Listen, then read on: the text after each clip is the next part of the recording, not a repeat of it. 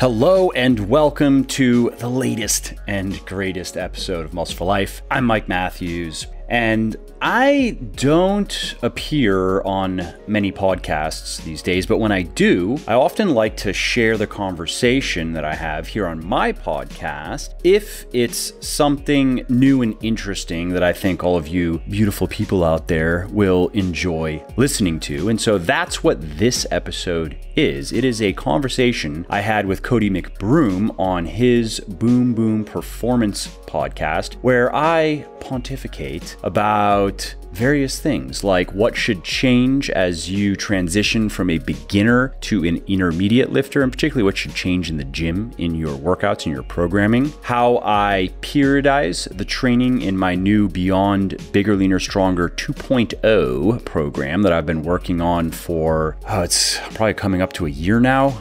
10 months or so, I've been working on the book and the program and doing the program myself and doing it with others. And that book, by the way, is coming this summer. We're on track. I'm probably about 80% done with the work. And then from there, it's just the logistical stuff of turning a manuscript, a completed manuscript, into uh, a book that you can buy. And that usually takes a couple months. So I think this summer is going to be it for this new book and the training program that comes with it. I also talk about a lean bulking study with Dr. Eric Helms that I am helping fund and some supplement stuff as well. We get into like the value of or lack thereof of intra workout carb powders and CLA, as well as other stuff. So give it a listen. Let me know what you think. Should I keep doing this? Should I keep sharing select conversations that I have with other people on their podcasts? Let me know.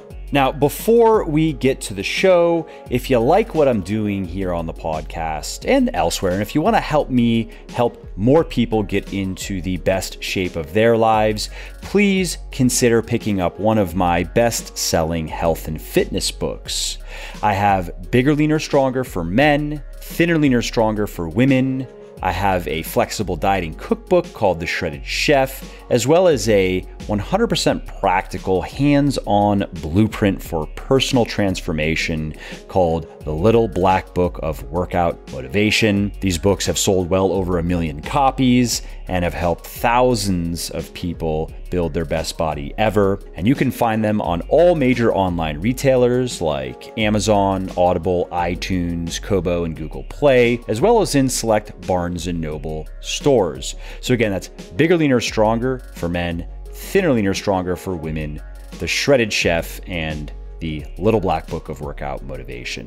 Oh, and I should also mention that you can get any of my audiobooks for free when you sign up for an Audible account, which is the perfect way to make those little pockets of downtime like commuting, meal prepping, dog walking, and cleaning a bit more interesting, entertaining, and productive. And if you want to take Audible up on that offer and get one of my audiobooks for free, just go to legionathletics.com slash audible and it'll forward you over and then you can sign up for your account. So the first thing I want to touch on is, and you're actually the perfect person for this because you've written and you have a company that helps a really wide spectrum. You guys are similar to us, where you help a really wide spectrum of individuals as far as like training experience goes. So the first thing is Gen Pop versus advanced population. Like, how different do you feel training needs to be, and how do you recommend? Like, what are the differences inside of your books, even because some of your books are tailored to one side of the spectrum versus the other?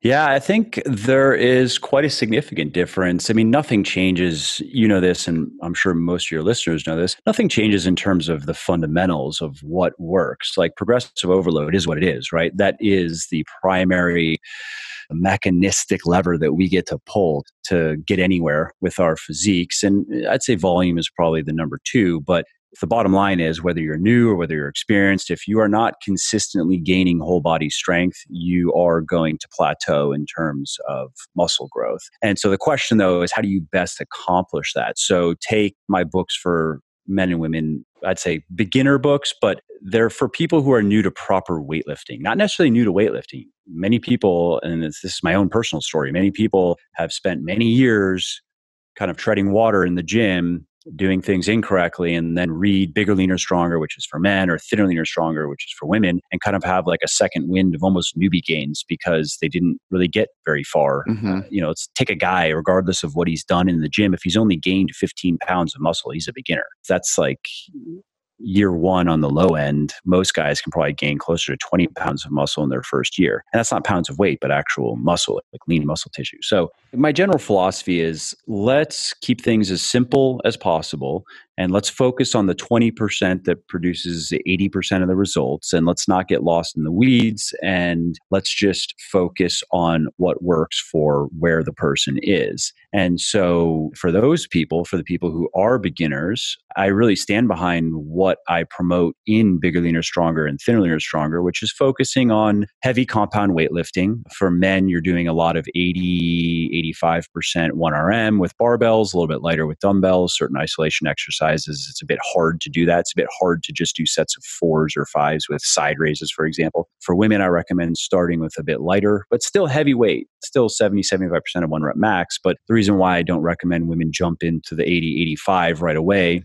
is I found having worked with many women over the years that it's it's a bit too much. Uh, many women, for example, when they start in the bench press, they have trouble with just the bar, maybe getting sets of five or six with just the bar. So if you tell a woman, okay, I want you to get on the bench press and, and work with 85% of your one rep max and do sets of five, some just say, oh, and they figure it out somehow, but it's more practical to tell a woman, why don't you start in the eight to 10 rep range, you know, 70, 75% of rep max on dumbbells, and then work your way up to the bar.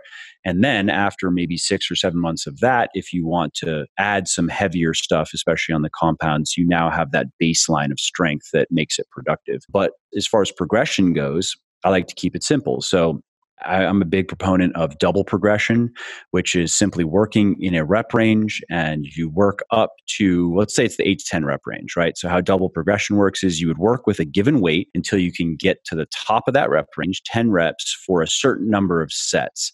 In thinner, leaner, stronger, I recommend one set. When you get to one set of 10, add the weight or add weight to the bar and add 10 pounds total, five pounds each side. If that's too much, you can use two and a. But most people, especially again, if they are new to proper weightlifting, they have no problem doing that.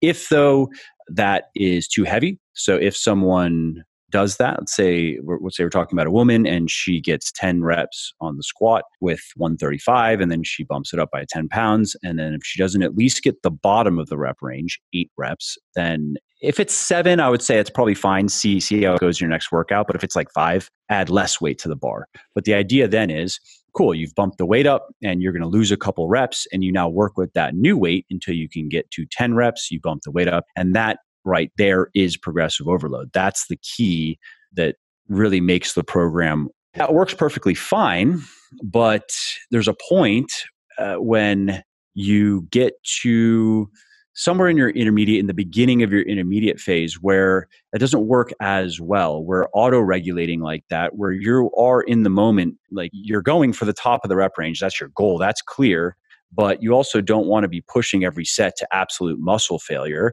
You want to be ending a couple reps shy, at least a rep or two. Eh, I wouldn't say at least, I'd say a rep or two shy of technical failure where your form starts to break down because you don't want to risk injury. You don't want to push yourself extremely hard and going to even technical failure every set where again your form starts to get sloppy you want to end just shy of that it can be hard in the moment to know did you go hard enough you generally know if you went too hard, but what happens is the weights start to get heavier and you just have more fatigue from the heavy weights auto regulating just gets more difficult. And I have a lot of experience with this training like that well into my intermediate phase. And what I've found is a productive change, for example, when you're an intermediate weightlifter, is changing to a more linear type of progression and using one rep max calculations for the primary exercises. I've found that double progression still works great for the accessory work, for the biceps curls and the side raises even exercises that you could say are kind of compound exercises, but they're just not as difficult, like a barbell row or mm-hmm. a seated cable row.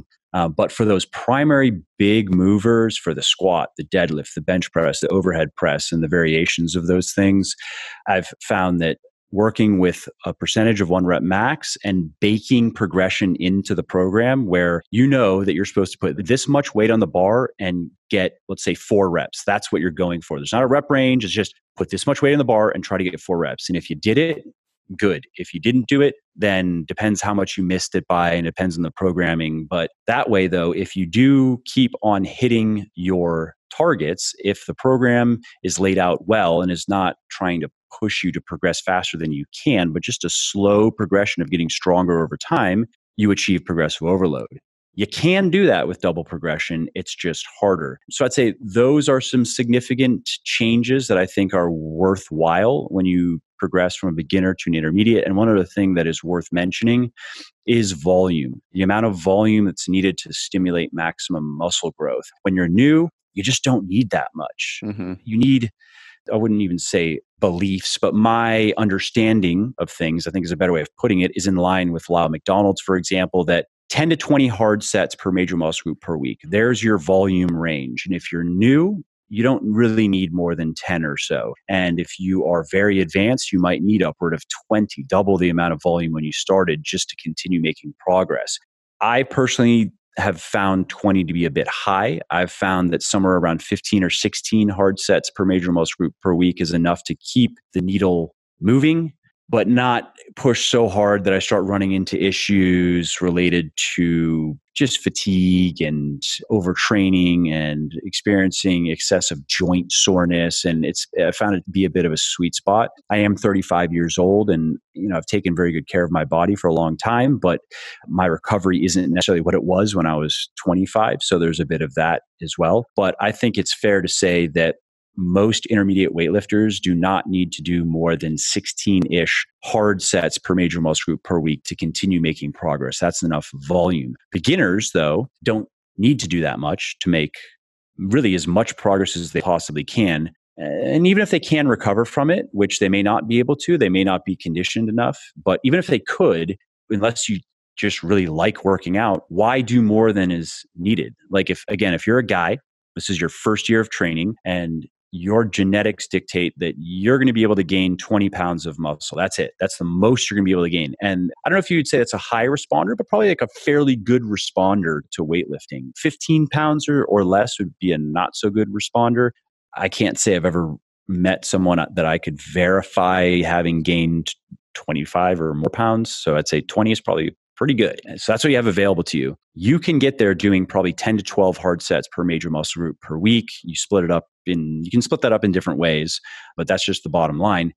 So why do more? Why do 16, 17, or even some of these crazy programs that are out there that have you doing like 30 hard sets per week for certain muscle groups? You're not going to gain muscle any faster. All you're going to do is increase the risk of injury and overtraining and burnout. And so, yeah, I'd say those are some of my initial thoughts of what should change when you are a beginner transitioning into your intermediate phase of the journey. I agree 100% with everything you just said. And I think it's funny because you're actually a good example of this too. You've spoken with a lot of researchers, even just on your podcast. And I'm sure you've dug into a ton with the writings of your books. And I think a lot of people gravitate towards the ultra high volumes because they see it's almost like a sticker shock. They see that number on a study and they dive into it, but they ignore the research that shows lower volume still producing muscle growth. And I'm not saying you don't need any volume. I think volume is very important. And I'm with you on the 10 to 20. What's your explanation to people who see these 30, 40 sets per muscle group per week research studies and think that that's the route they need to go? Like, what do you kind of try to convince them as to dial that back a little bit. Because i agree with you i think a lot of times you just i don't know if you would necessarily go into overtraining per se but you're definitely overreaching and just creating more fatigue and injury risk than necessary. Yeah i mean we both know it's very hard to truly reach a state of overtraining but that would be the way. Yeah. there's a point where like, yeah, keep going and let's see what happens. And then again, there's the risk of injury and there's your joints just get beat to shit, which further increases the risk of injury. And then you start not enjoying your workouts and that just makes the whole thing shittier and makes it harder to follow the program and there's a point where you realize that you can't do this as a lifestyle. Then, if you don't understand some of the stuff we're talking about, though, that puts people in a shitty spot where they don't know now. They think that, oh, well, this one study indicated that there's a direct linear relationship between volume and muscle growth. And somehow this person, let's say, has come to the conclusion that if they're not doing at least 30 hard sets per major muscle group per week, they might as well just quit. And that might sound ridiculous and binary and and just baffling how could but it's out there. And and I understand because there's so much bad information out there and there's a lot of bad information that's pushed by people who are supposed experts and who have impressive credentials. But I would say if you look at the weight of the evidence and this is something that whenever you are considering evidence and considering research, you don't want to just look at one study and be like, oh, this one study said this, therefore I should do that. You want to look at what the overall, what's the message that the body of literature on whatever it is that we're talking about is sending. And I understand that can be easier said than done because sometimes it's hard to really be able to dive into the research. And there's definitely a moat of jargon and technical information that you need to get through to even understand what is being laid out in a scientific study. But there are hacks i don't like that word but shortcuts i guess like for yeah. example it's going to be easier to go through a research review because they're written more colloquially and they're intended more for i wouldn't say a layman but those are not going to be as technically demanding as a study that's you know diving deep into the physiology of let's say muscle hypertrophy for example. Same thing with meta-analyses. Those tend to be easier. I have a book actually it's a manuscript really at this point that i put together with james krieger on how to better understand nutrition and exercise science. And unfortunately it just has to lie around on, on, the it's it's on the back burner right now because of this I'm going to be doing a book with Simon and Schuster and they don't want me self-publishing anything until this book is out which I understand that's very normal yeah. and I don't have any problem with that and then so I have to wait until next summer sorry the summer after next 2021 is when that book is slated to be released and then i have to wait six months after. But this science book i don't expect it to be some great bestseller but i do think that for the people who are interested in this kind of stuff they'll find it very helpful. Yeah. and this is something that, that is discussed in detail in that book. But meta-analyses and research reviews are a good place to start if you are wanting to get into reviewing research yourself and kind of get underneath the hood of the evidence-based fitness space and because then what you'll find is that's really the intention of those studies is to give you a weight of the evidence. What are all the clinical trials that have been done and all the direct evidence that we have? What is that telling us right now? Now, of course, that depends though. I mean, that, that's not perfect because it depends on who's doing that research and what their motives may be and who's funding it. That's better than just coming across some study that was uh, a single trial and then coming to some conclusion based on whatever. I mean, oftentimes, unfortunately, people are just reading abstracts. So, yeah. To read an abstract and just read the conclusion and, and then make major changes to anything based on that is a bad idea because sometimes abstracts don't even actually accurately reflect the data in the study.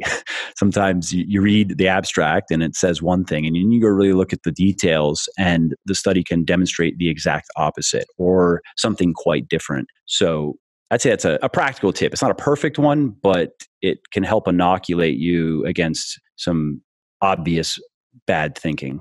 Well, and I think research reviews are great because they're application driven, and most people have to realize that understanding and reading research is actually a skill. It takes practice. So if yeah. you're just the average individual who just wants to have a better physique, nobody's expecting you to be a researcher or someone who is actually skilled at understanding research. So just read the research review, join something like Mass, invest some money and actually get the most out of it. But I'm glad you brought that oh, up. yeah, yeah. I mean, uh, just to interject there, actually, I was talking about review papers, but that's, uh, I didn't even think of what you, yes, I agree with what you're saying too. When I said research review, just so people know, I'm talking about a review paper, oh. uh, certain type of research paper that is similar to a meta analysis, but not as right. rigorous in terms of its methodology. But yes, I totally agree with what you're saying is there are then research reviews out there, which are just roundups of research where then you have qualified scientists scientists, qualified researchers walking you through studies and explaining how they were conducted and what the results were and what these different things mean that you might not understand if you were just trying to read the paper yourself. And then also connecting whatever is being discussed there with other research on the topic to give you a better understanding of the Mm, data on the whole. And so, yes, I totally agree. Like Mass, for example, I really like Mass. James Krieger, Weightology, has a good yeah. review. Alan, Alan Aragon has had his review for a long time. A lot of good information in there. Those are the main ones that I've turned to. I yeah. think Bret Contreras has one as well. I haven't read it recently, but in the past, I had found some good stuff in his review as well. For most people, unless you're writing fitness content or coaching a vast majority of individuals or a wide variety of individuals i think that those type of things are probably best just because they hand select the research that's actually going to be applicable to you in the first place. So you don't go siphon through a bunch of studies that really won't even be necessary for you to read or get confused by in the first place and get information overload. So in the case of, you know, like a mass is one of my favorite good guys and don't seem to have any ulterior motives and really are just trying to do a good job representing the research accurately. I'm it's the most user friendly too, I would say. Yeah, I agree. I like what they're doing. I think they're doing a good job.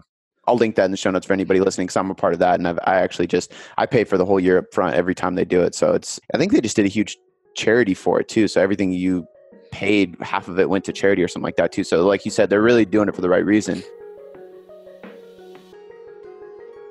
Hey, before we continue, if you like what I'm doing here on the podcast and elsewhere, and if you want to help me help more people get into the best shape of their lives, please do consider picking up one of my best selling health and fitness books. My most popular ones are Bigger, Leaner, Stronger for men, Thinner, Leaner, Stronger for women, my flexible dieting cookbook, The Shredded Chef, and my 100% practical hands on blueprint for personal transformation, The Little Black Book of Workout Motivation. Now, these books have sold well over 1 million copies and have helped thousands of people build their best body ever. And you can find them anywhere online where you can buy books like Amazon, Audible, iTunes, Kobo, and Google Play, as well as in select Barnes & Noble stores. So again, that is Bigger, Leaner, Stronger for men Thinner, Leaner, Stronger for Women, The Shredded Chef, and The Little Black Book of Workout Motivation. Oh, and one other thing is you can get any one of those audiobooks 100% free when you sign up for an Audible account. And that's a great way to make those pockets of downtime like commuting, meal prepping, and cleaning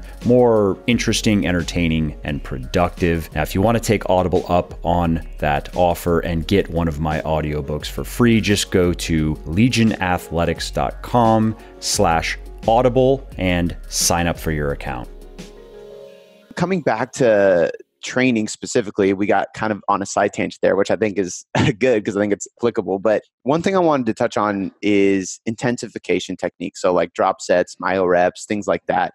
It's almost like the muscle and strength pyramids with nutrition. I think people kind of flip it around when they first start and they get into things and they start adding drop sets and things that are completely unnecessary. And I really appreciate the way you keep things simple. I mean, even for people listening, if you follow Mike and you watch his story, he usually posts a lot of his workouts. And even for himself as an advanced lifter, sometimes they're very, very simple. Like you'll put four exercises in a day and just focus on progressive overload. And you have an impressive physique and you're a pretty strong guy. So I think it's a really good proof of the pudding of just keeping things simple. But I want to bring this up because I think it's a good thing for people to hear from both of us.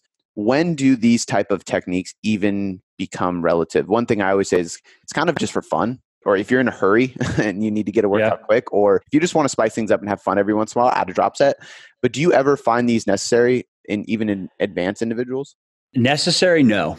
And in this book that I'm working on, wrapping up Beyond Bigger, Leaner, Stronger, sequel to Bigger, Leaner, Stronger, it's meant for intermediate weightlifters. And there's currently a first edition out. That's good, a lot of good information, but I wrote it four or five years ago. I know a lot more now. I know also the intermediate weightlifter better. So I know exactly who mm. I'm serving now better, having interacted with so many people. And I don't care how smart you are, how good of a marketer you are, you can't replace the years of experience Yeah. like hand hands on with people with just trying to be smart early on and think about you know really okay getting try to put yourself in the shoes and i don't care how much you read online from these people and do as much research as you can there's just something to be said for working directly with people for a long period of time and seeing things firsthand but in that book i talk about some of these advanced training techniques and there are many that i don't think are really have any place like drop sets. I actually don't include drop sets. I talk about them in the book, but I don't include them as one of the recommended advanced techniques because I would rather do rest pause, for example. I think that's a little bit more of a useful if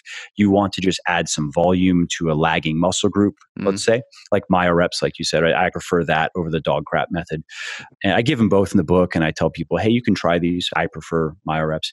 But I don't do it very often and take supersets, right? Supersets, I agree that we should be pairing antagonistic opposite muscle groups. Like that's a Mhm. better way to do it as opposed to just blasting the shit of one muscle group with no rest. It's better to just save time with going from like, okay, let's say you want to superset your biceps and your triceps by just resting one minute in between each. And you want to do that because you just want to get through your workout a little bit faster. Makes sense. That's really the only reason to do it though. Or you maybe I do that with like calf work. So resting my primary muscle group, go do some calves. Why not? Get it done faster. There's Yeah. no reason to add an extra 10 minutes to my workout when it's not really going to make any difference in terms of performance.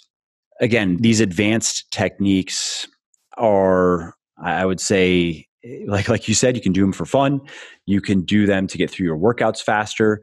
You can do them to add a little bit of volume. I talk about blood flow restriction training, which is useful again if you want to add a bit of volume with less wear and tear on the joints, or if you have an injury, so you're not able to train heavy, that can be useful because you use very light weight and still get a pretty good muscle building stimulus out of it. But those things should never be your focus. Like you should never be starting your workout with supersets or drop sets, or, well, I guess I, I can't say you shouldn't be starting with supersets. If you're just doing an arms day or some like, you know, upper body accessory day, maybe you do start, but you shouldn't be Mhm. starting with paused reps, which also I talk about in the book. You shouldn't be starting with myo reps or any other form of rest pause or drop sets or giant sets or cluster sets because those techniques aren't fundamentally going to help you better progressively up overload your muscles. They're just not. What is going to help you do that is just straight hard lifting and ensuring that you are getting stronger over time. And there are a number of, of effective progression models out there.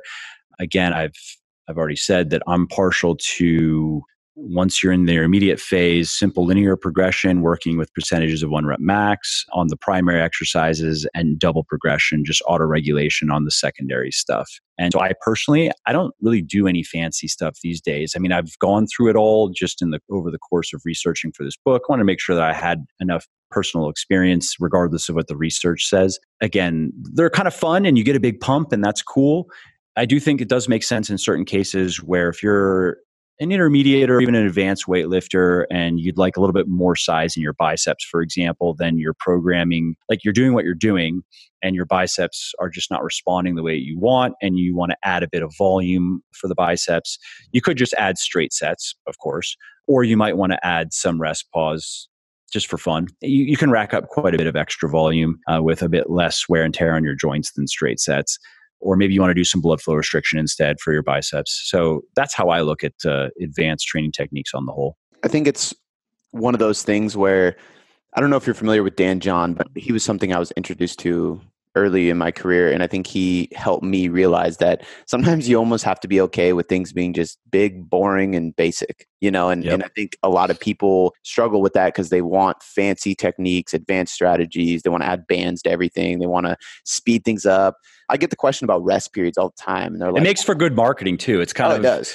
You know what I mean? It has that sizzle of something exotic, and here's what they aren't telling you. Here's what Yeah. the real, you know, the really top tier bodybuilders. This is what they do, and this is why you don't look like them. It's not all the dedication they're on. Can't be that. A lot of those and the fast rest periods and giant sets where you're doing four different chest exercises in a row. It can be really brutal and kind of fun in the moment, but most of what this stuff does just increases fatigue and lowers the amount of weight you're allow- able to lift. and cause an excessive amount of muscle damage. That's and that's just counterproductive. You need a bit of muscle damage, and the jury's out as to whether there's really even a, a connection between muscle damage per se and, and mm-hmm. hypertrophy. But we know that if you're going to do what it takes to grow your muscles, there's going to be some damage, and if you're doing it right, there's probably not that much. You're probably not experiencing experiencing much in the way of soreness. But if you do something like what you're talking about, if all of a sudden you just do like German volume training or something and just blow yourself up, you are. this has been shown in research. You are not going to gain muscle faster, but you're going to be very sore, and mm-hmm. your body's going to have a ton of muscle damage to repair. And ultimately, that's just going to slow you down. It's just going to reduce the amount of effective volume you can do every week. Yeah, sure. You could say, oh, but I'm getting all this volume doing GVT. Yeah, but how much of it is truly effective in terms of muscle building stimulus? There's a point where it just becomes trash volume, as it's called, right? Yeah, absolutely. I think soreness is one of those things that's really hard to explain to people because I think some is good because it shows that your level of effort is probably there. You're probably pushing yeah. yourself in the gym and you need that. So much that you're just broken is just probably unnecessary. Oh, completely unnecessary. I don't know, unless somebody starts out weightlifting for the first time and they're following a very simple, reasonable program and they're just very sore because it's not physiology. Yeah, whatever. You know what I mean? Then okay, fine. But they should quickly get to a point where it is probably for most people, it probably becomes, if they're doing it right, slightly enjoyable even just because it kind of feels like you've been using your body and it doesn't get in the way of anything it's not painful that i guess that's my experience with it yeah, I would 100% agree. Uh, one thing I'm curious on your thoughts on just, I think I know what your answer will be, but just to get your explanation for the listeners is periodization for muscle growth. You know, there's some people who are very, very strict on periodization over time. And then there's some that say that's just need to be saved for like weightlifters and power lifters. And for muscle growth, it's it's kind of unnecessary as long as you're progressing. And I think you and I program similarly in the sense of we enjoy having like kind of like a heavy lift for the day and then allowing reps to kind of get higher as we dive into more accessory and isolation work. But there's not really much phasing month to month in that. It's more of each day kind of has a sequence, if that makes sense. So it's good timing uh, because I've just gone through a lot of research and I've written a lot of stuff in this in this book I'm working on on mm-hmm. periodization. Mm-hmm. And so in the past, so basically for a while when I started doing things right, I trained just as I talk about in bigger, leaner, stronger, a lot of heavy weightlifting, a lot of double progression, made a lot of progress that way. And then there was a point where that just became a maintenance program, mostly because of the volume and the lack of progressive overload. It just becomes maintenance. And I had to make things harder. And so then I started dabbling in, in different types of periodization. And there's a conjugate style of periodization, kind of like a daily undulating periodization that's in the current first edition of Beyond Bigger, Leaner, Stronger. And I did well with that program. I was the strongest I've ever been actually uh, doing that. So it certainly worked in that regard. But now as time has gone on i've learned a lot more i understand a bit more about periodization and the pros and cons of it which there aren't many cons but i'll get to that in a second and also i've come to a different style of periodization that i personally like more for my training and think is more optimal for the average intermediate weightlifter. And that is a weekly undulating periodization, which I'll explain what that is in a minute, and then a wave loading scheme, which I can explain as well. And so, to answer your question, I actually, my training now is a lot more deliberate and planned out than you might think if you're just watching my stories. I don't post every workout in stories because they are kind of boring, and I don't know if people want to see necessarily everyone, but I like to put stuff up just so people can see workouts and put up posts and talk a bit about what I'm doing. And so if you look at the literature, the literature is clear that periodization is superior to non periodization when it's done correctly. And that has been shown in pretty much every sport and meaningful physical activity. And so I don't think there's any debate there. Uh, but uh, how you go about it, that's really what it comes down to. So take bigger, leaner, stronger, which first glance you think it's not a periodized program because you're working in simple rep ranges like okay on these exercises four to six reps double progression on these exercises uh, eight to ten i believe or six to eight reps double progression there you go have fun but there is a little bit of periodization in there because your reps are going up. And uh, we should probably actually just quickly define periodization. So, the idea of periodization, the theory is that by focusing on certain aspects of your fitness, I guess you could say, for certain periods of time, you can improve your overall results. So, a simple way of periodizing, just to give people an example of this is actually more of what I'm doing now and what's in Beyond Bigger, Leaner, Stronger, is you start a, a 16 week training cycle. That's what the program is laid out in 16 weeks, called a macro cycle. So, you start your first mesocycle, which is a one month that's it's four weeks of it's three weeks of hard training, one week of deloading. That's a mesocycle. Mm-hmm. So you're going to start that working in the 10 rep range with about 70 or 75% of your one rep max. I don't remember exactly. And then the next week, you're going to be doing eights a lot of eights. Now, this is for primary exercises. For your accessories, you'll just be working in the 10 to 12 rep range in the beginning, right? So it's 10 to 12. It's going to be 10 reps on the primary compounds, the big exercises, 10 to 12 double progression, very simple on the accessory. The following week, you are doing eights. The following week, you are doing sixes.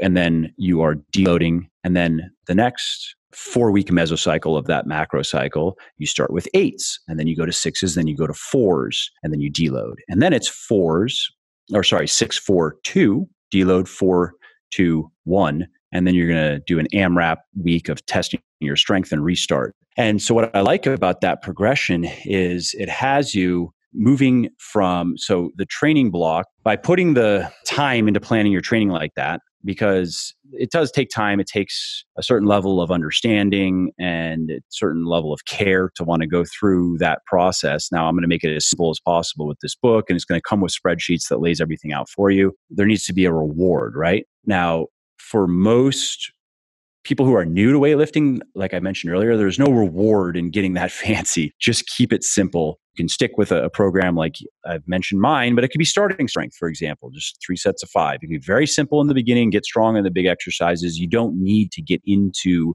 this type of periodization until you are an intermediate or an advanced weightlifter. But once you get to that point, what I like about being more deliberate and having a longer period, like looking at, again, it's a 16 week, and then you just repeat that over and over. That's it. I'd say that you can find programs out there that you don't restart for like, you know, six months or mm-hmm. even longer than that. And there may be a place for that, but I don't see that for like, I consider myself the average intermediate weightlifter. I'm not a strength competitor. I'm not an anything competitor. I'm just a guy who wants to be strong and big and lean.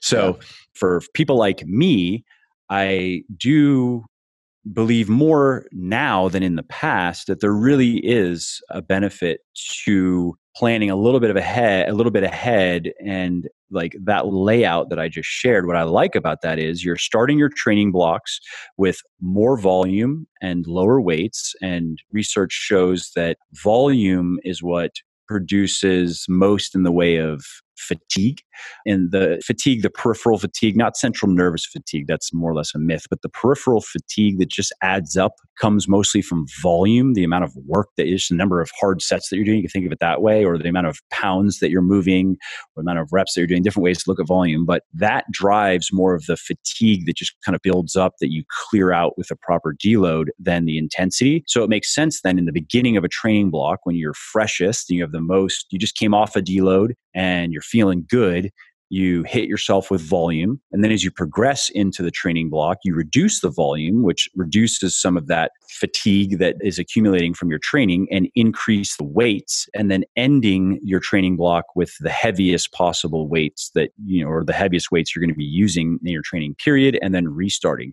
And you'll find that that's not like something unique that I came up with, not at all. You'll find that type of periodization in a lot of powerlifting programs. For example, it's very common for powerlifters, competitive, to start training blocks with more volume and then taper down to heavier and heavier weights, lift very heavy before their meet, back off a little bit, and then try to go set a PR.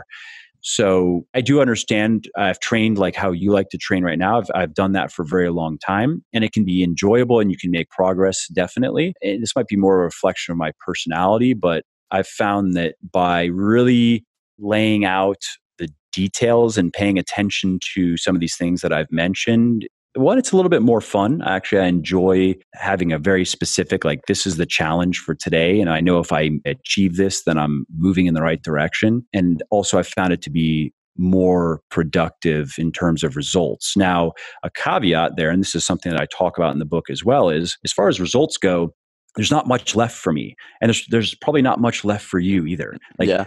we've gained more or less all of the muscle and strength that we're ever going to gain so the counter argument to everything i just said is well it doesn't really matter what you do anymore. Like, you're not going to gain another 10 pounds of muscle. It's not possible. The only way I could ever do it is if I got on steroids. And so, does it really matter if you're pushing yourself and really trying to eke out those last little bits of muscle and strength gain? And I would agree with you. I'd say, yeah, totally fair point. I'm just enjoying it. So that's the main reason why I should be doing it. However, if you take someone who still has 10 pounds of muscle left to gain, I do think they will get there faster approaching in the way that I just described versus more of just kind of looking at it day by day or most week by week and just kind of trying to beat your last week's numbers, you know?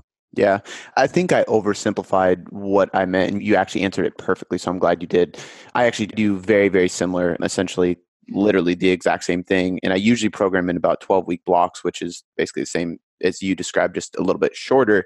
And I think that's the most simple way. And it kind of just holds you accountable to push, right? Like if I know that my reps are going to be a little bit lower next week, my mindset is going in thinking I have to lift heavier. And you're just naturally going to lift more and get stronger over time. Yeah, you will. Um, I was just talking with a buddy of mine who I work out with today that there's interesting research, I'm sure you've come across it, on just the psychological aspect of strength and how right. like visualizing yourself performing sets successfully can increase your ability to do it. Yeah. And there is something to be said for the psychology of like you just said knowing that this is what I'm going for today and I'm going to try to do it as opposed to just putting weight on the bar and seeing what I can do. There's just a difference in that mindset and I couldn't point to any research that bears this out, but I've definitely experienced it many times myself. And it's one of those things that anecdotally has a lot of support.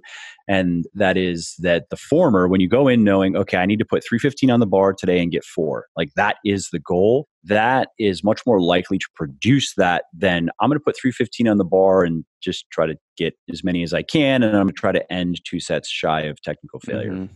Yeah. And I think what I was getting at too is that some people, they read phases of accumulation, intensification, realization. They think they have to have this overly complicated periodization style, or even like where there's people who have like very low volume blocks and then like metabolite accumulation blocks and they just get so technical with it when in reality yeah. a lot of times is you just need to set up your training so you know what the hell you're doing and it basically forces you to get stronger exactly really that's the easiest way to do that is exactly with what you said and kind of keeping it simple. The last thing i want to touch on i don't think we're going to have enough time to dive into content because that'll be a really long conversation between you and i. So if any of the listeners really want to hear that we'll have to schedule another one which i'm totally fine with. But i do want to touch on one last thing inside of training and then kind of get into some of these questions because some of the people had some good supplement questions which i think would be perfect for you to cover. But the last one is building muscle at maintenance calories. And the reason i wrote that is because if I remember correctly, I think I overheard Eric Helms talking about how they were doing a study and you were helping fund that study. So my thought is that you had some kind of thought process on why that might be possible or if there is any benefit in that inside of kind of like lean gaining, if you will. Yeah, yeah. So I am. I'm funding a study that's being headed up by Eric and James Krieger. And it's on lean bulking specifically. So what we want to explore, I mean, it's them. I, I can't take credit for anything more than paying. But it's but, but it's really uh, cool because this has nothing to do with supplements. So I have to throw that out there because the fact that you're helping just fund something that just expands our knowledge is really really cool usually supplement companies fund studies that will tell you you need to consume this protein powder at this time kind of thing you know yeah, exactly. And that's why I wanted to do it. I just thought it'd be a cool way to kind of give back to the evidence based fitness community because I've benefited so much from so much of the work that has already been done. So why not give back? Yeah. I thought that'd be a, a, meaningful way to do it. I love um, it. So, yes. So the idea is to look into the size of a surplus and does it make a difference? So, if I remember correctly, I haven't looked at the details in, in, in a bit now, but I believe it's comparing a 5% surplus to a 10. And that may have changed though to a 10 and a 15 because I remember we were talking that 5% are we cutting a little bit close there because it's kind of hard. We're talking about a small number of calories. Uh, so it may have changed to 10 and 15%. But really what we're exploring is does the size of the surplus make a noticeable difference in terms of the amount of muscle that you gain? And just to follow up quickly on that 5% point, the reason why we just wanted to make sure that people were in a proper surplus. So Eric, if you're hearing this and I'm getting the methodology wrong, I'm sorry. I forgot exactly what the because it changed a couple times, and I remember in the end it all made sense. And but it's going to be exploring again the effectiveness of a calorie surplus for building muscle. And so to your question, although it's not about maintenance per se, I don't believe that is one of the groups. Again, it's been six months since I went over any of these details, and I only have so much RAM in my brain for numbers and uh, and such. But I can still answer the question outside of the what's being done on the research side of things, and that is that I don't think it's an effective way to go about it. If you're really trying to maximize muscle growth, the problem with trying to do it at maintenance calories is what does that really mean? What is maintenance calories? You don't know how many calories you're burning to the calorie every day, mm. or even to the 50th calorie necessarily. It's a moving target even if you use the MET equivalent method, you try to be as detailed as possible. It's still just kind of a guess. It can be an accurate guess, but it's still a guess. And what I've seen and what I've experienced, you've probably experienced this too, especially with intermediate and advanced weightlifters who don't like to gain fat. Let's face it, we don't. Like, we like to stay pretty lean. We like to see our abs. We like to see vascularity. And that's often why people are trying to gain muscle on maintenance calories, is they just don't want to experience the fat gain. Yeah. Really, what that turns into is it turns into being in a slight deficit far more often than a slight surplus. Again, speaking anecdotally, myself, having worked with a lot of people, I would say that if you look at it in terms of a year of trying to quote unquote eat at maintenance, but not accept fat gain, it probably comes out to like two thirds of the year are a slight deficit. And unfortunately, there's no research on the effects of a slight versus larger deficit in terms of impairing muscle growth, but we do know a slight deficit does impair muscle growth to some degree. And we do know that it's so damn hard to build muscle as an intermediate weightlifter as it is that that's enough. Like we do know if you put yourself in a 20% calorie surplus, a sizable surplus that produces meaningful fat loss, that's enough to more or less shut down your body. Well, not, that's not true, not shut down. That's enough to turn the dial down on your body's muscle building machinery enough to effectively halt muscle growth. And so if you're in a 5% deficit, is it going to be as bad as 20? Probably not, but it's still enough. We know from speaking to enough people who I'd say natural bodybuilders who have been doing it for a long time and have meticulously tracked things for a long time and so that's what I don't like about trying to gain muscle at maintenance is if you are trying to do that, you're probably an intermediate weightlifter. If you're new, it doesn't matter. You can gain muscle in a deficit. So I guess that should be said. Yeah. Sure, go ahead. You'll gain probably a bit more if you maintain a surplus, but it doesn't really matter. But if your newbie gains are long behind you and you try to do it, what that really means is one day you're going to be in a slight deficit the other day, maybe a slight deficit again, even if it's not intentional. Even if you like, okay, I, I burn 2,700 calories a day. I, here's my meal plan. And that day you burn a little bit more because you walked the stairs. Better you know, sleep. Walked, yeah. You trained a little bit harder. You exerted yourself a little bit harder in the gym. Or maybe you ate a little bit less than than your meal plan called for. It doesn't take much when we're trying to like really kind of walk that thin line. And so that's why my standard recommendation if somebody says I want to gain muscle and strength as quickly as possible, 10% surplus, do that because coming back to what I mentioned about design of the study, a 5% surplus again, you're cutting it kind of close now. You may burn an extra 100 calories in a day, and that might be enough to wipe that. And well, I guess that would be maybe a little bit low, but you get what I'm saying mm-hmm. that you are kind of cutting it close at 5%. But if you maintain 10% over your average, let's just keep it simple, your average kind of TDEE, your, your average total daily energy expenditure, 110% of that, that's enough to give you a buffer for unexpected increases in energy expenditure and to maintain that surplus that there I believe Lyle McDonald has written about this, and I can't say that I remember coming across it myself in the literature, but I believe he wrote about that there does seem to be something to that when you go into a surplus, the muscle building benefits are not immediate, kind of like creatine, how it has to kind of build up in your body. Same thing with beta alanine. It takes a couple weeks for most people to really start seeing and feeling the benefits from the calorie surplus. And if you are getting that flywheel spinning and then stopping it with maybe three days of a deficit, even though it may not stop the momentum altogether, it definitely kind of puts the brakes on and then you're trying to build it back up. It just is not very efficient. I think there is a time and place for mini cutting, and I do talk about it in this new book I'm working on, but not like that, not where it's,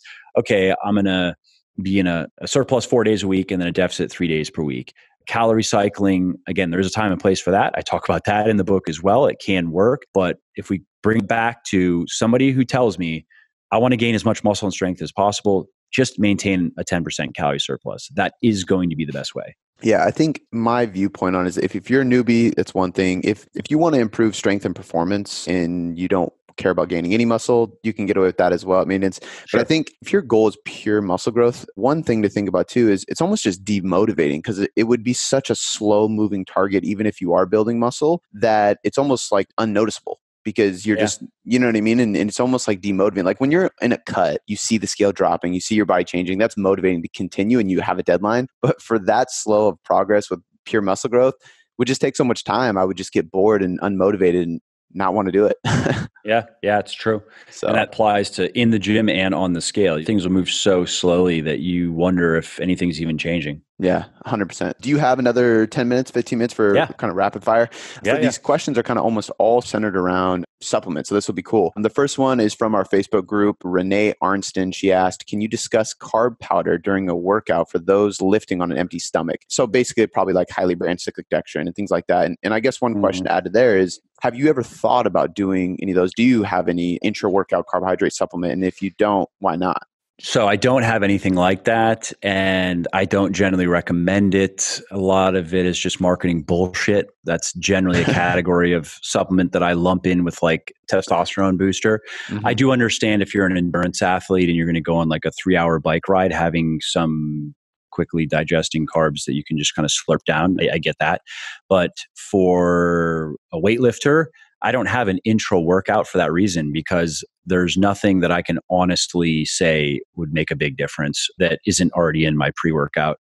And so, as far as having fancy carb powders at any time period if you're a weightlifter i say don't bother it's not going to make any difference just eat your carbs and specifically have let's say 50-ish grams so 30 to 50 depending on i guess how much you weigh 30 to 50-ish grams of, of carbs 30-ish minutes before you work out if you want to have the best kind of boost and that's about it. You don't have to have anything while you train and add some protein too if you're working out first thing in the morning. If you're working out later in the day and you've already had like 150 grams of protein it doesn't really matter probably if you have protein before. It's probably a good idea to have some protein after and yeah, that's my position. I mean, I may do an intra workout supplement, but it, it would be an endurance supplement. And I haven't done that because I, I'm not in that space at all. Mm-hmm. And I don't know how it'll do. I don't know who I'm selling to. I'm just not comfortable creating product for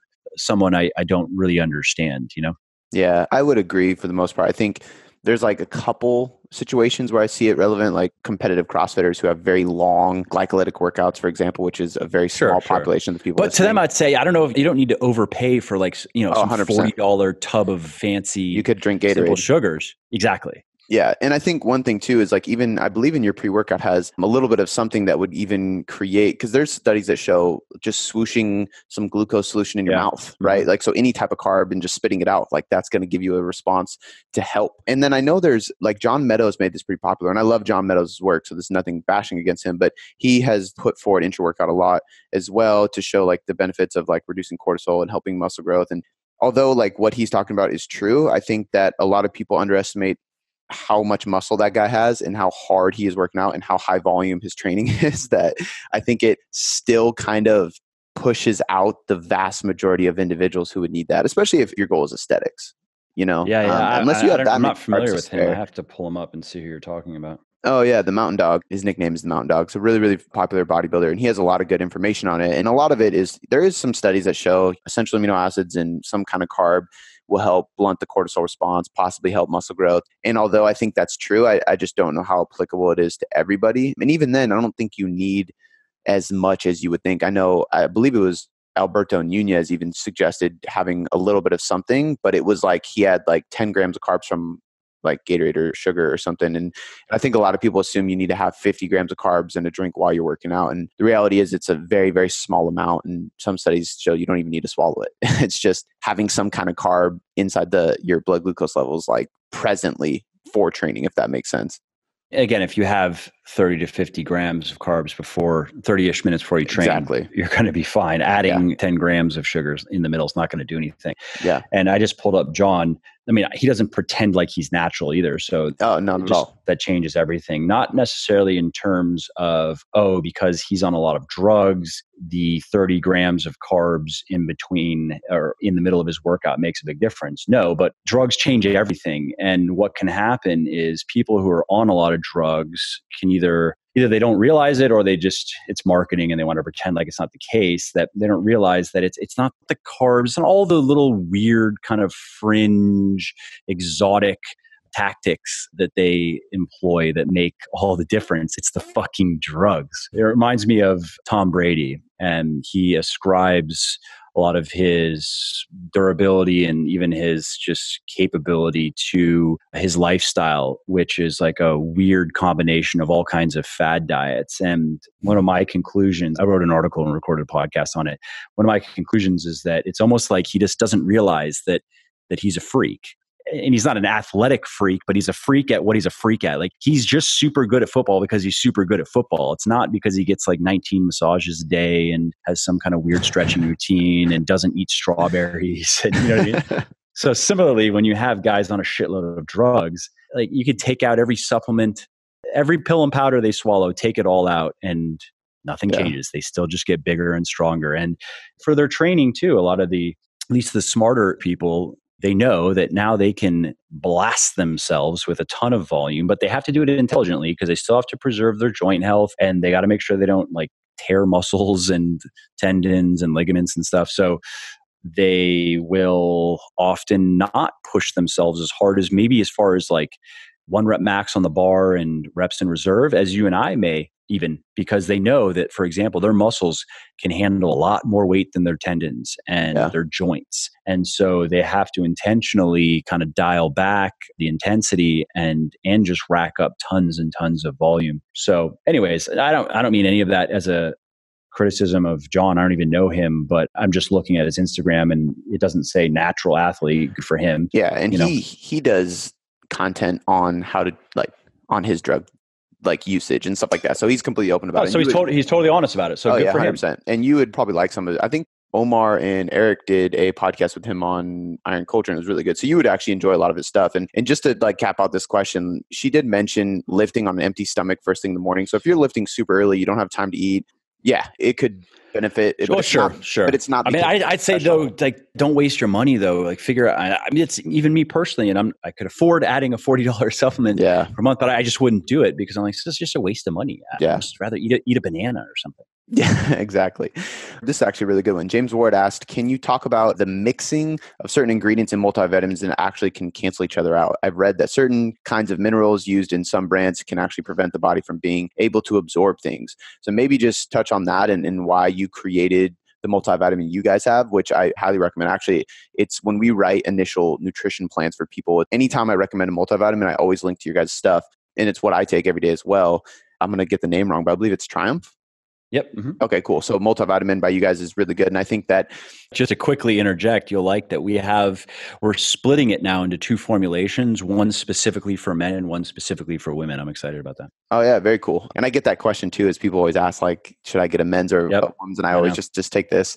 And I think a lot of people are, and you can probably explain this better than I do, but a lot of people are turned off by the fact that you got to take eight of them per day. I know. And what I always tell them is like, well, if you get some multivitamins that tell you to take one per day, there's such small dosing of each micronutrient inside of this pill that it's basically fucking useless.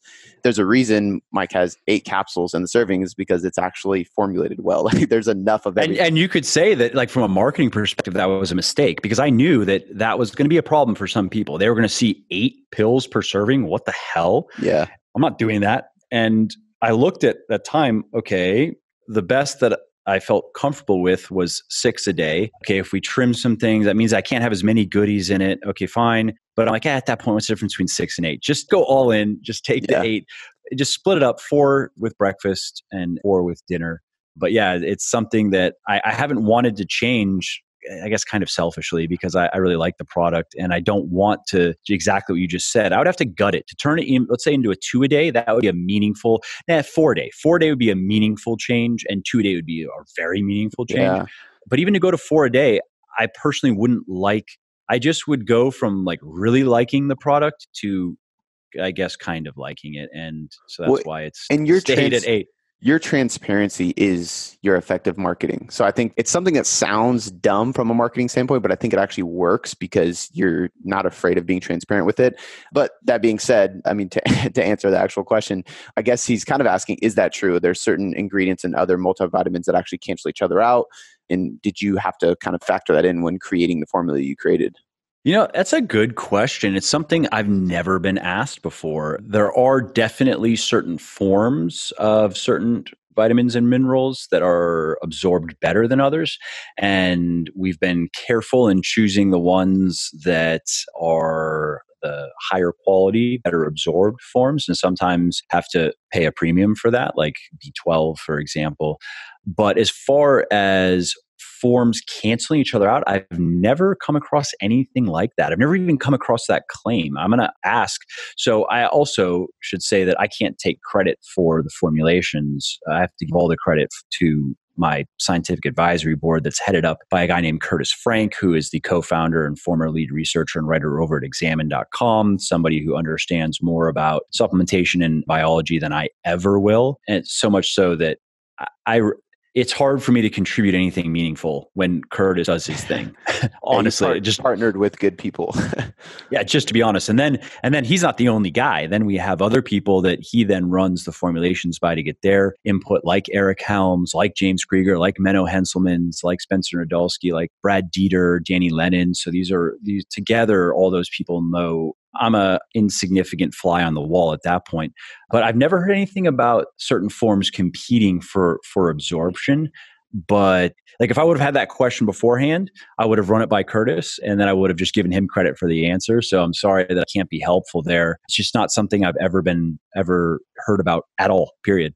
Yeah, honestly, I haven't either. And, and what I would suggest is I would go to examine.com. If anybody is going to have information on that, they probably have an article on it. I mean, that website is is packed with content around supplementation. So even going like exactly that point, I've spent so much time over the years on that site. And I've never come across anything like that. So yeah. my initial assumption is it's probably not a thing, but I'm going to ask Curtis because now I'm curious. Yeah, no, I, I, am too. And I haven't, and I've spent a lot of time on examine.com as well, just geeking out and just researching stuff, but I've never seen anything on that. So I would agree. This one is from Kim underscore Tode underscore. I don't. I have no idea, so I apologize for that. This will be the last one on supplementations, and she asked, "Can you review CLA and just give your thoughts?" Which I thought was a funny one, and I would love for you to to crush this one.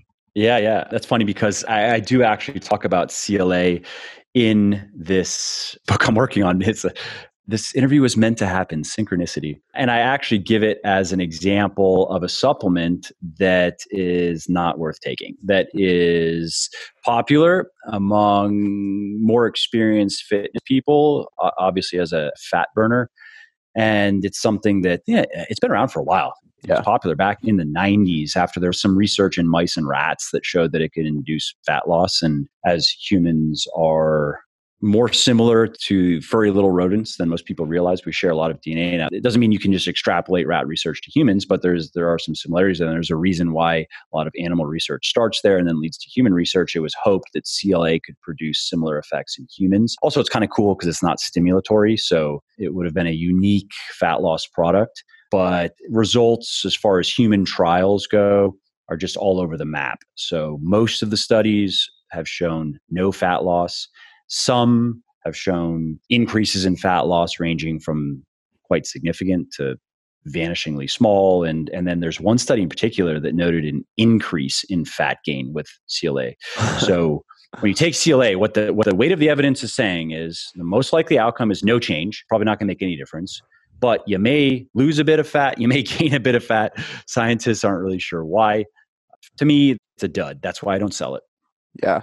And I think like just the last thing I'll say, and then we're going to close this out is one of the reasons why I really appreciate Mike's company Legion is because transparency is so evident. I mean, right when you get to the homepage, there's a video about how supplements aren't necessary. and like, if there's anything that shows you that they are only producing quality supplements that aren't filled with just proprietary blends where you have no idea where the evidence is coming from, like that's it right there on the homepage before you even get a chance to buy anything. So I, I highly recommend his products for anybody listening who wants a really well-rounded company that actually produces. And I've commended you on this before who actually produces a lot of content. There's not that many supplement companies that actually give a lot of content to. And there's, I mean, between, especially once you kind of converted Muscle for Life and Legion together, there's just so much good content on the website, even outside of the supplement realm. So it's just such a good place to learn as well as get quality products. So for everybody listening, obviously go check that out. There will be a link in the show notes. Mike, I appreciate you coming on the podcast once again.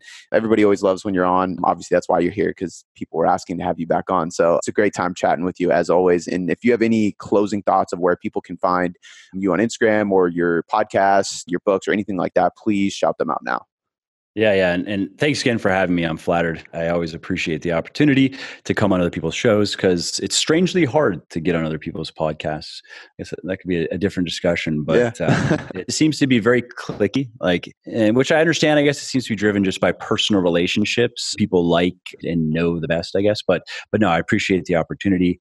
And as far as where to find me and my stuff, I mean, legionathletics.com is kind of the hub now of everything, which is after the merger of muscleforlife.com was a previous website I had. Now I merged them together because I should have done it some time ago. It just makes sense. And Instagram is Muscle for Life Fitness could change that, but I, I, feel like if I change that now, I have that link like in all of my books, and I should, probably should just keep it. So it is what it is.